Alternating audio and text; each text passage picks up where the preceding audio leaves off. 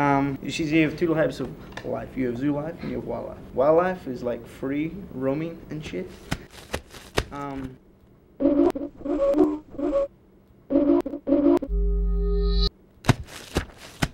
zoo life is stuck in a cage, man. It didn't feel natural.